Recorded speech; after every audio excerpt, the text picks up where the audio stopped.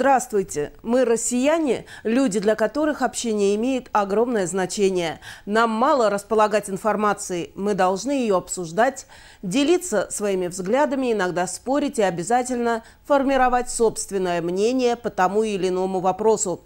Впрочем, сегодня спорить мы не будем. Этот выпуск я хочу посвятить представительницам прекрасного пола.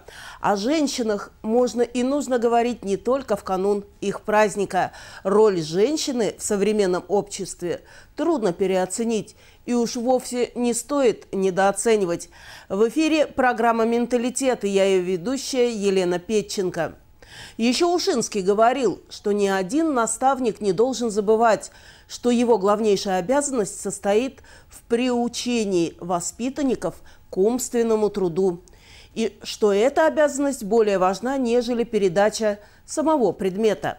Бизина Любовь Васильевна не только преподает историю в школе номер один, но и является наставником по жизни для своих учеников. Такие педагоги, как она, не делят сутки на рабочее и нерабочее время, потому что учитель – это даже не профессия, а образ жизни. Школа – это место, где течет своя особенная жизнь. По сути дела, государство в государстве. Дети сюда приходят совсем маленькими, а выпускаются взрослыми, готовыми пуститься в далекое плавание. Какими они вырастут и что впитают в себя, во многом зависит от педагогов – Любовь Васильевна Бизина – учитель и по образованию, и по призванию. Ее ученики о своем педагоге говорят с уважением и большой симпатией. Любовь Васильевна очень добрый человек, всегда поймет. Если что-то не выучил, можно пересдать. Она покажет все, объяснит. Она всегда прихорашивается и, можно сказать, самая красивая. Хорошо выглядит, да.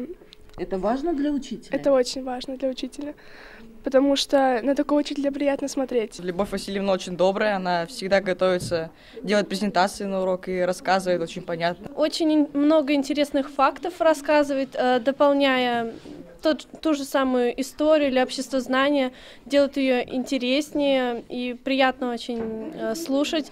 Э, почти на уроках никто не отвлекается на ее, все слушают и понимают ее. Любовь Васильевна, она не только замечательный педагог, она еще и очень хороший человек. Она очень красивая у нас. Она добрая, она очень ко всем хорошо относится, всегда всем помогает. Любовь Васильевна очень умная и мудрая, потому что, ну, передается от нас, потому что она у нас классная руководительница, очень, классная руководительница уже очень давно, и мы ей все восхищаемся. И ученики, и коллеги отмечают, что в школу Любовь Васильевна всегда заходит с улыбкой. Никто не помнит, чтобы она была не в настроении. Всегда сдержанная, тактичная и очень обаятельная.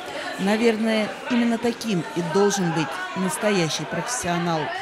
Любовь Васильевна очень ответственный человек, порядочный человек. И, конечно, это опытный учитель.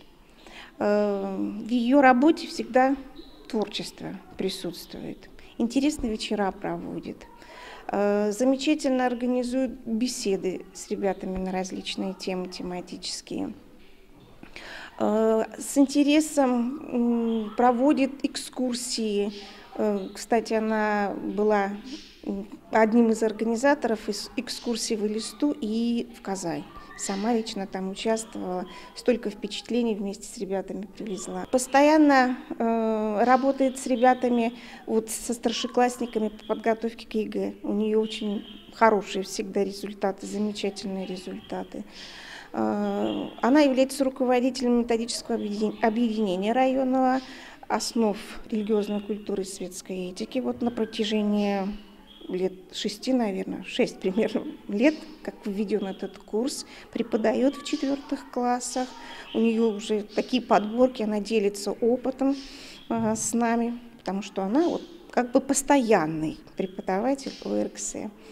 Человек, к которому всегда можно обратиться с просьбой помочь в чем-то, она всегда делится своим опытом, тактично очень, никогда не нагрубит. С таким человеком очень приятно работать. Она не просто коллега, она еще хороший друг.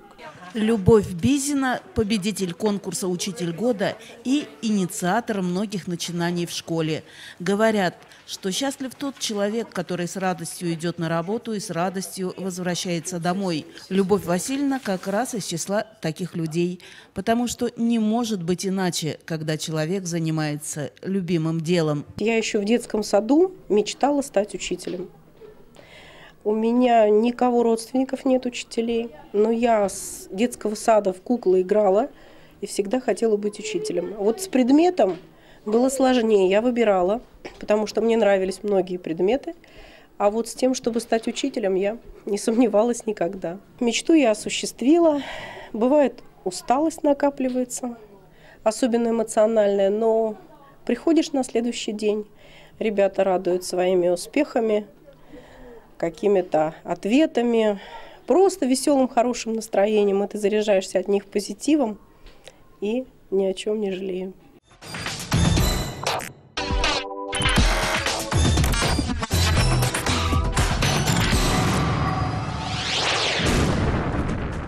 Профессия врача – это очень почетный, уважаемый, но и вместе с этим очень ответственный труд.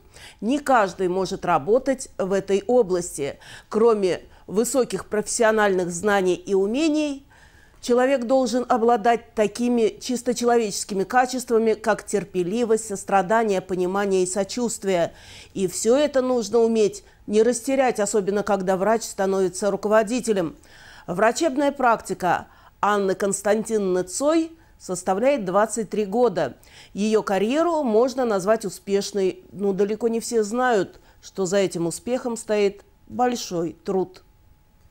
Каждый из нас хотя бы однажды был пациентом, нуждающимся в медицинской помощи. Глядя на человека в белом халате, кажется, что ему одному известно, что происходит в организме больного и чем ему можно помочь. На самом деле все зависит не только от конкретного доктора, но и от того, насколько слаженно работает система здравоохранения. Анна Константиновна Цой сегодня исполняет обязанности главврача Ахтубинской районной больницы. Изначально институт я заканчивала по специальности педиатрия я педиатр. А потом в процессе уже работы э, получила узкую квалификацию трансфузиология, более 11 лет я была заведующей отделения переливания крови, а потом уже, э, заняв должность заместителя главного врача по медицинскому обслуживанию населения, прошла специализацию по организации здравоохранения и общественному здоровью. Вот эту должность сейчас, сейчас и занимаю. Женщина-руководитель – это всегда непросто. Так уж исторически сложилось, что слабому полу слабости в деле руководства не прощают. Хотя можно использовать и другую формулировку – чего хочет женщина, того хочет Бог. Ну, я думаю, что я справедливый руководитель. И если я даже своих подчиненных в определенной степени когда-нибудь и заставляю работать или, или ругаю в какой-то э, ситуации, то они мне это, надеюсь, прощают, потому что чувствуют, что это все справедливо. То есть э, зря или без причины э, ну, я их никого не наказываю, не ругаю, Порой, конечно, тяжело, потому что ситуации бывают сложные, особенно в наше вот нынешнее непростое время. Больница и вообще здравоохранение поставлено в такие, в такие рамки, что нам приходится много работать, много зарабатывать для того, чтобы выжить. Выживать в современных условиях районной больницы действительно непросто. Коллеги Анны Константиновны это прекрасно понимают. Они ценят ее и профессиональные качества, и человеческие. Очень ответственный человек, серьезный, требовательный, я считаю, что как руководитель, а вот, знает, что она хочет. Вот. Ну а как человек, ну, всегда отзывчивый. Я думаю, что а, как бы и хочется и пожелать ей как бы семейного и благополучия, и счастья, счастья детям, семье, чтобы все было хорошо. Вот. И хороший друг. Когда человек вовлечен в процесс руководства огромным учреждением, то его рабочий график становится ненормированным. А дома тем временем внимание со стороны Анны Константиновны ждет семья – муж и две дочери. Кстати, быть хорошей женой и матерью – это тоже большой труд. Вот и приходится нашей героине трудиться, не покладая рук. Правда, дома она в роли доктора не выступает. Дома я не доктор. И, к сожалению, когда заболевают мои близкие, бывает порой даже сложно принять какое-то решение, обращаюсь за помощью к своим коллегам, чтобы они посоветовали, подсказали правильное лечение. Ну, то есть на себя ответственность почему-то взять сложно в лечении своих родных. О здоровье своих близких Анна Константиновна заботится гораздо больше, чем о своем. И признается, что врачи вообще лечиться не любят. Точнее сказать, не находят для этого времени. На это мы, пациенты, можем сказать одно. Доктор, берегите себя. Вы нам нужны здоровой.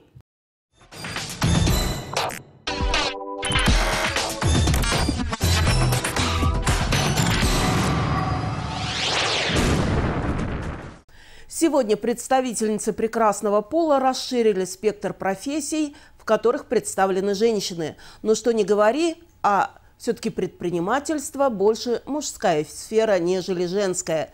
В бизнесе ценится напор, умение быстро находить нужное решение и не бояться конкуренции. Так-то оно так. Но кого имел в виду поэт, когда говорил «коня на скаку остановит, в горящую избу войдет»? Ну явно, не о мужчинах. Химчистка «Золушка» в городе работает с 2009 года. Открыть свой бизнес Любовь Якименко решила, когда вышла замуж и переехала из Волгограда в Ахтубинск. Опыта предпринимательства у нее не было, зато было желание работать. Нет, начинать приходилось не с нуля, помогла, ну, государство помогло центр занятости. Бизнес потихоньку налаживался. Число клиентов росло и работать приходилось много. Прерывать процесс Любовь Якименко не стала, даже когда родилась дочка. Дочка родилась в 2014 году. В сентябре, в сезон пика вещей, когда сдавали вещей, очень много, все звонили. У нас э, сезонная как работа все-таки э, весна и осень у нас больше идет народ, наплыв людей. И вместе с ней ездили в Волгоград, привозили, увозили. Сегодня молодая мама крепко стоит на ногах и развивает свой бизнес. У нее договор на чистку и стирку одежды и белья с Волгоградом. Здесь на месте производится сухая чистка подушек и мелкий ремонт одежды. Для постоянных клиентов работает даже бонусная программа. У нас есть постоянные клиенты, у нас даже заведена тетрадь, мы делаем постоянную скидку, они постоянно, у них 30% скидка как бы клиенты всегда у нас постоянные приходят к нам. Ну, как бы жалоб еще не было. Еще одна молодая мама Наталья Безрукова. Она занимается дизайном ногтей и делает это с большим удовольствием. Когда-то такое занятие было для нее как хобби. Нет, с декрета просто вышла, решила, люблю это дело, поэтому решила этим заниматься. Через год как желание не пропало? Нет, желание не пропало, наоборот, только расширяемся вот Наташа говорит, что любимым делом оказалось заниматься еще и выгодно.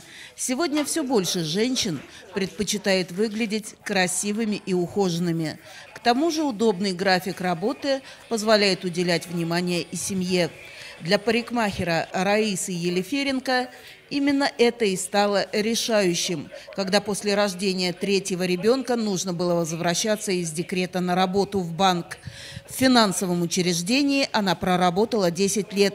Имея высшее образование и неплохие перспективы, Раиса все-таки решила круто поменять судьбу. Пока была в декретном отпуске, постоянно была реклама, мозолила глаза от биржи труда, что курсы повышения квалификации, парикмахерские. И, ну и отучилась и начала заниматься этой деятельностью. Все мне нравится, прекрасно и вполне сочетаю и семейную жизнь, и с детьми занимаемся, и, ну и работаем. Все три наши бизнес-леди – женщины очень молодые. Впереди у них целая жизнь, по которой они шагают уверенно, надеясь на собственные силы и умения – они являются примером того, что человек обязательно найдет дело по душе, если очень этого захочет.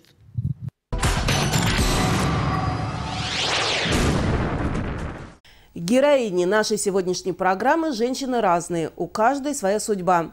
Но всех их объединяет активная жизненная позиция, умение ставить перед собой цель и добиваться результата. Все они прекрасные жены, мамы и профессионалы на работе.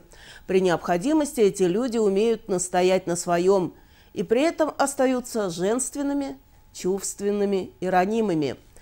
И если верить классику, что, мол, человек – это звучит гордо – то женщина это звучит и гордо, и романтично, и нежно, и ласково, и надежно, и артистично, и очень красиво. Это была программа «Менталитет». До встречи в следующем выпуске.